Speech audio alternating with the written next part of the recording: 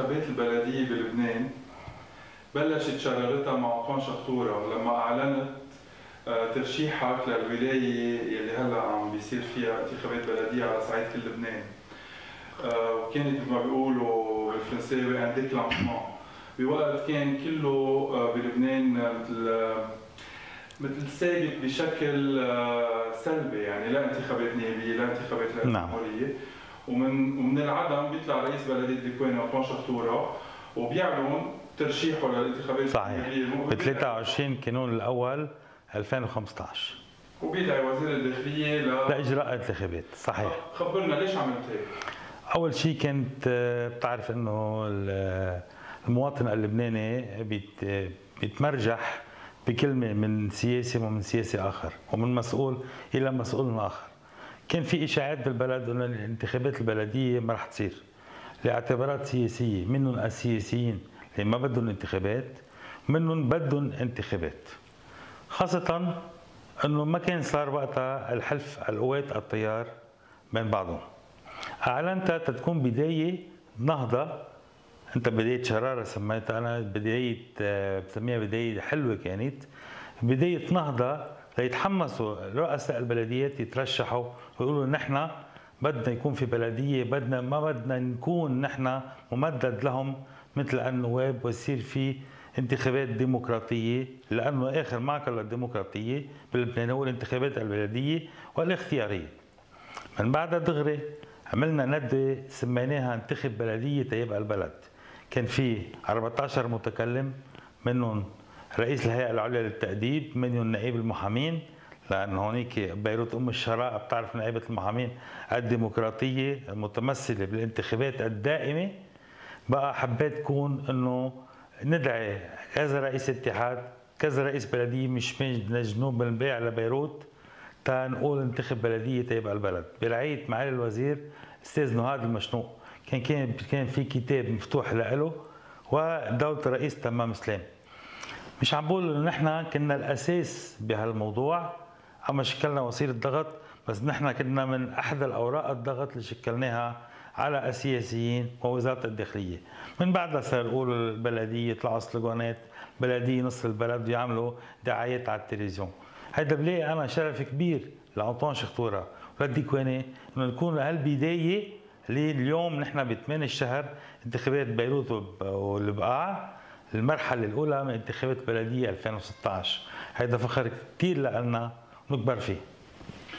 طيب بيقول البعض إنه لو ما انطوان شخطوره ضامن عودته لرئاسة البلديه ما طرح الموضوع. يعني يمكن لو رئيس بلدية ثاني فكر إنه وضعه شوي مهزوز ببلديته في مين ينافسه ليش بده يطرح آه، موضوع إعادة الانتخاب بوقت ما إنه التمديد موضه وماشيه بال... بالندوة انتخاب بلدية تيبقى البلد في آخر متكلم كان رئيس بلدية آه، اتحاد آه، جمية حسب ما بتذكر. أستاذ سجيع عطية قال كلمة إنه نحن كلنا الموجودين عم نخبر خبرية ما حدا بده منا وجر انتخابات بلدية. قطشته قلت له احكي عن حالك اما احكي عن اتحادك حتى عن اتحاده ما بحق له يحكي.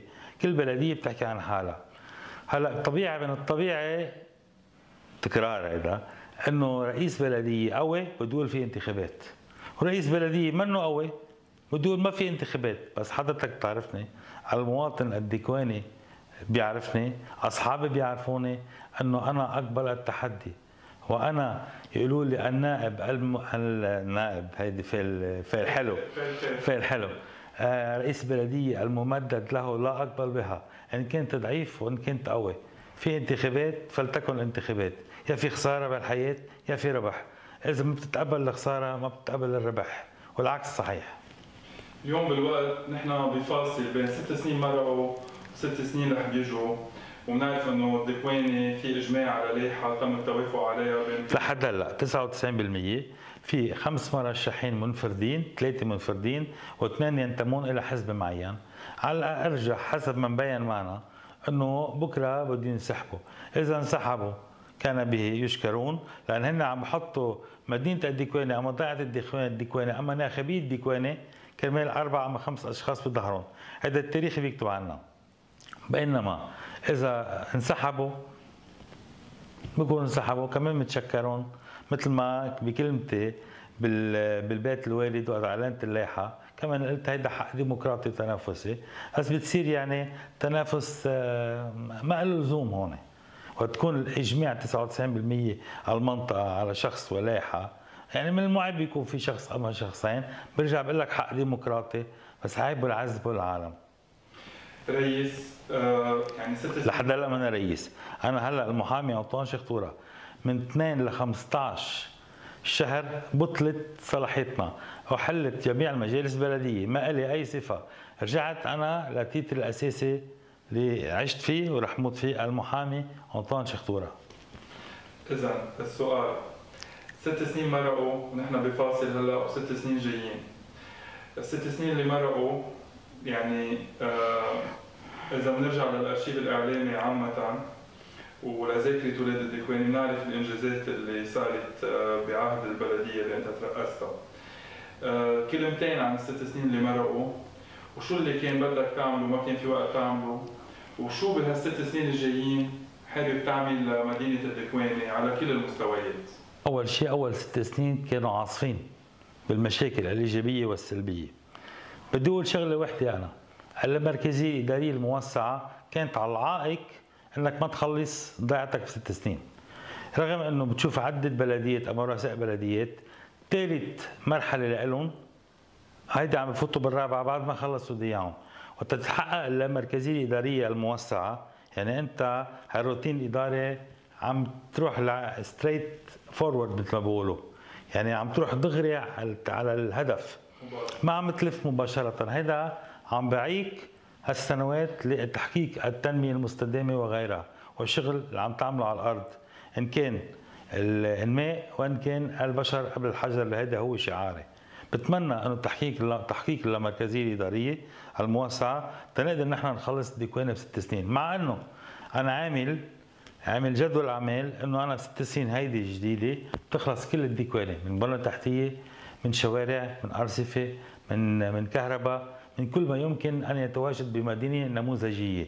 هلأ الديكوانه ما كانت معروفة شو وجهها أنا غيرت لها وجه يعني وجهها إنه حروب مرقت عليها صناعية تجارة تجارية. لا هلأ عم نحدد لها هويتها إنه تجارية بامتياز في مناطق جيدة ممتازة بامتياز جدا وصناعية أيضا عم رتب المدينتين الصناعيتين إلى تحقيق الهدف بالست سنين الجايين. أما على البشر هيدا ما حدا يزايد على بلدية الديكواني ما حدا يزايد على بيت أنطون شختوره بموضوع مساعدة تخيل الإنسان. لاحظنا آه، بسبب الموجة اللي خلقها آه، الصلحة التاريخية بين التيار الوطني الحر والقوات اللبنانية فبالمناطق المسيحية هالزخم الانتخابي يلي هلأ عم يتجرأ بالانتخابات البلدية ويلي تحالفاتهم ب 95% من المناطق عم بتودي لتقل انتخابي بمطرح معين. آه، اليوم حتى لو بدنا نحكي مش السياسة العامة بلبنان بس سياسة بلديه الدكواني على القليلة. اليوم بين آه، صراعين مبدئين بالانتخابات البلدية بلبنان عامة. بيقولوا إنه العائلات بتشكل والأحزاب بتشكل. كيف هول اللي بفوتوا ببعضهم؟ ومين عنده حق ومين ما عنده حق؟ وين دور الأحزاب بالبلدية؟ وين دور العائلات وهذا كله كيف بيتلخص بالدكواني تحت رئاسة أنطون شحتوره ليك الحلف اللي صار بين التيار والقوات ممتاز جدا على الصعيد المسيحي وحق حقهم إنه يفوتوا بالبلديات والعائلات حقهم كمان يتمثلوا بالبلديات. بس إنما فوتت الأحزاب كلها إن كان كقوات أما تيار أما كتائب أما كدولة الرئيس ميشيل مور مع إنه لا يعتبر حزب يعتبر شخصية آه، بخدماتيه بامتياز. فاتوا بكثير قوة على المناطق. رح أقول لك كل المناطق مش بس بالمتن الشمالي رح أقول لك كل المناطق اللبنانية. آه، مما أدى إلى إلى إذا بدي أقول لك إنه آه، لخبطه شوي ببعض الأمور. لأن كل صار حزب صار بده يتمثل بحجمه السياسي. لا نحن لازم نتمثل بحجمنا الانتخابي البلدي العائلي. رغم إنه بالديكوان انتهينا من هالموضوع. وعنينا عنينا مع الأحزاب والعائلات لأن الأحزاب بدها تتمثل بما تريد أكيد. ونحن بدنا نمثل العائلات. ضلينا إنه مشادات سياسية طبيعي عن قناعة إنه نحن اتفقنا نحن والتيار والقوات. ودولة الرئيس ميشيل مورلي أنا أنتمي إليه. وهذا البيت بينتمي إليه. والكتائب اللبنانية إلى حل ما طلعت بصيغة 99% تزكية.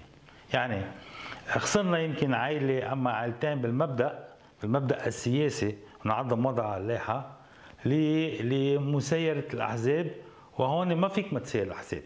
لأن الأحزاب نزلوا بقوة كثير قوية على الأرض وهيدي بتصور أنا يمكن ديمو أما بروفا للانتخابات النيابيه ويشوفوا تحالفهم كيف. أنا بفهمهم بس هن كمان الأحزاب بضيفها العائلات لأن يجب أن تمثل لأن البلدية هي عائلات هي انتماء هي ليست سياسية بامتياز. مع إنه أنا دائما بقول رئيس البلدية هو رجل سياسي بامتياز بس إنما التمثيل العائلي هو في يطغى على الانمائي يطغى على التمثيل السياسي فيه. توصلنا اللي لازم توصلنا فيه أحباب نحن والتيار الوطني الحر أحباب نحن القوات اللبنانية نحن ودولة الرئيس ميشيل ألمر ونحن الكتائب اللبنانية صار في شوية آه مش حنسميه سوء تفاهم شوية يعني تضارب بالآراء إلى حد ما. وصل الأمور إلى ما عليه برجع بقول 99% في خمس مرشحين لغاية الآن. اثنين ينتمون إلى حزب معين وثلاثة آه يعني مستقلين لحالهم.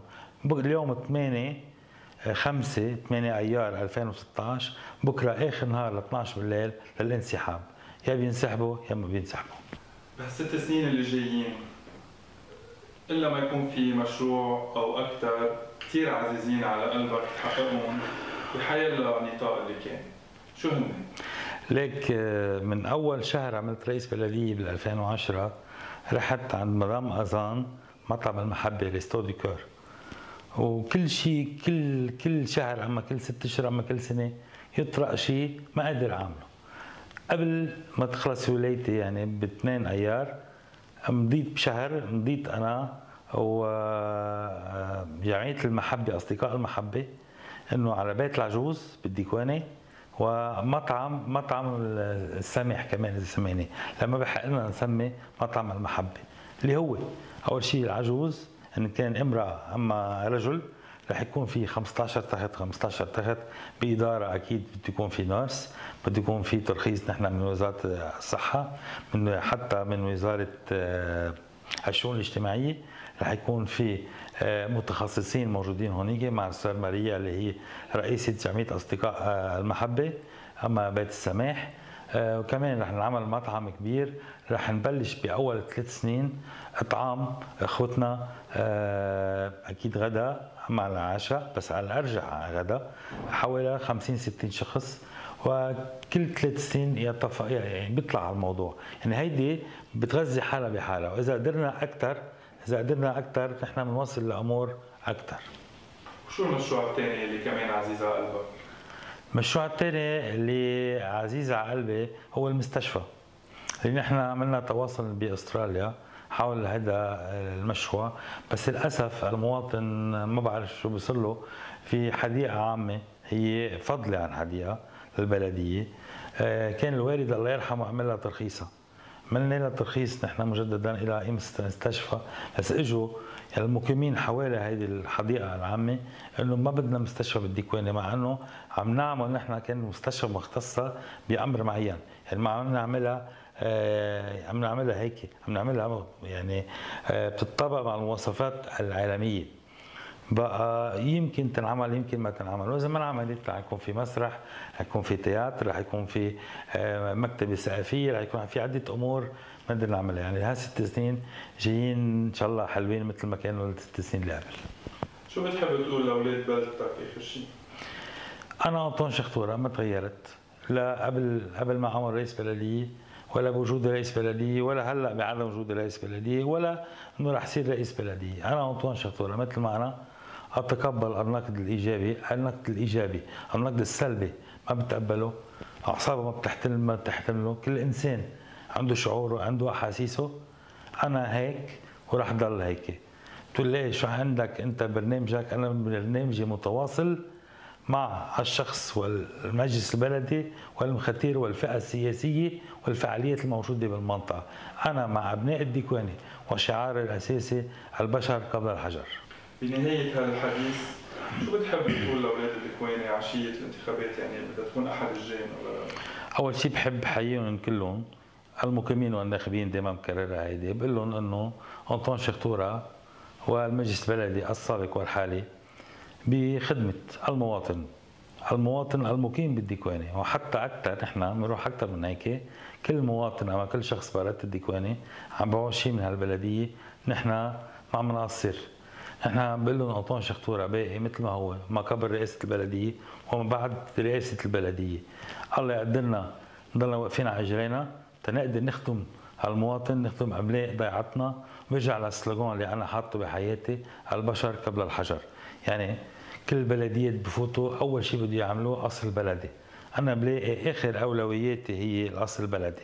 بدك تخلص ضيعتك بعدين بدك تخلص القصر البلدي بدك تخلص البنى التحتية بدك تعبد الطرقات بدك تشوف المي بدك تشوف المجارير عندك كثير مكونات أساسية للمواطن. بدك تشوف كوته كيف تعطيه كيف تدبر له شغل. بعدين بتحكي أنت كيف تقعد مكتب 100 متر أما 200 متر. هذا اللي لهم اياه